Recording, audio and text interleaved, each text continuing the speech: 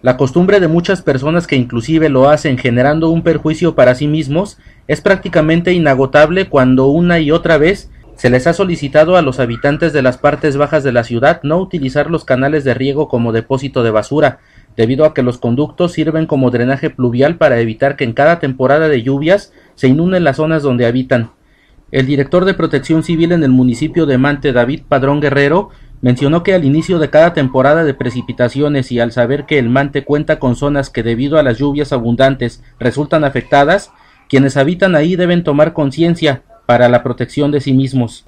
Pero la ciudadanía que vive en las colonias con esas características parecen olvidar que se encuentran en zonas afectables y siguen aprovechando los canales de riego como tiraderos de basura, lo que han podido comprobar las autoridades mediante las labores que se llevan a cabo en conjunto con el distrito de riego, cuando cotidianamente limpian y han sacado desde botellas plásticas hasta algunos enseres. El funcionario mencionó que se les ha pedido ya en reiteradas ocasiones a esas personas se abstengan de hacer esa práctica. Lamentablemente no ha habido eco ni en las recomendaciones ni en las campañas que se hacen para la protección de las personas que habitan cerca de ríos o canales o partes bajas de la ciudad, así como de algunas de las comunidades.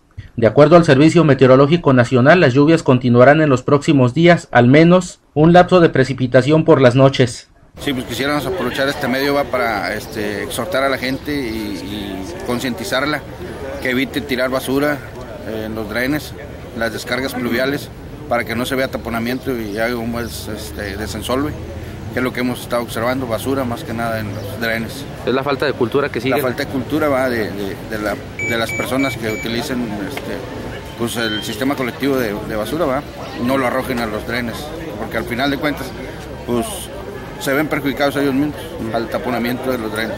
En la cuestión del clima, ¿va a seguir así? ¿Tienen algún pronóstico ustedes aquí? Eh, ahorita no tenemos ningún pronóstico considerable grave, ¿va? Al contrario, tenemos este, lluvia pronosticada, pero no tan fuerte como en años anteriores.